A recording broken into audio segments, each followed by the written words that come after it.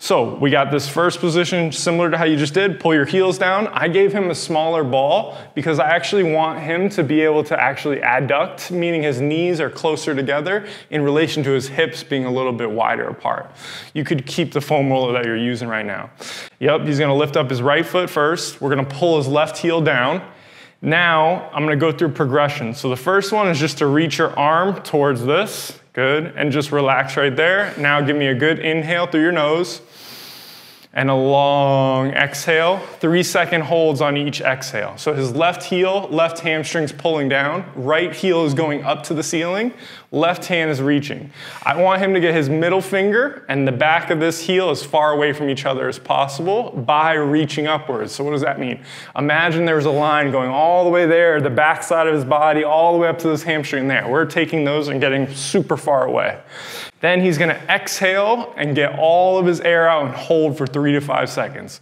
On his inhale, I want him to imagine like his back left rib cage is actually going into the ground as if he's almost turning into the left side as the left reaches away.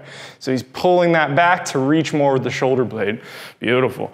Now, as a progression, you can actually lift your head. Okay, so lift the head, good. And it's almost now we're doing just a slight little crunch, but it's all coming as these go longer, as that left hamstring comes. And you should feel a ton of these abs right here on your exhales. Close that thing up with a long exhale. Keep holding, I'm gonna give you 15 more seconds, then we're gonna switch sides.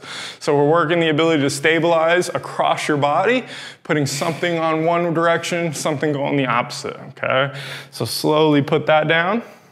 Get yourself even, head relaxes, pull down. If you started feeling like your neck was going crazy and you lost the hamstring, you lost all these other things that we're, we're talking about, all 70 million of them, try to relax and put your head back down, and you can even use a pillow here, okay? So that goes up, pull that right heel down. Good. Left heel's going up to the ceiling. We're reaching across with the right. Again, imagine that from here all the way down through his back left side, all the way across here. All of this is getting as long as possible stretching. You can have your hand here or here, wherever it's comfortable. Just think that you're reaching towards this toe right there. Good. Whenever you feel ready, you can keep your head up or you can keep it down and you have the pillow option. Way longer exhales and inhales are important here. Okay, we're looking for expansion in this class. So even though I'm constantly never shut up about exhale all the way hold. Show me ninja-like smooth inhale and show me that it can fill up all the areas that we wanted to get to right now. Good. As a position is built in for you, but you still need to focus on the inhale. Don't even worry about where it goes if you, if you don't need to. Five, four, three, two, and one. Good job. Okay.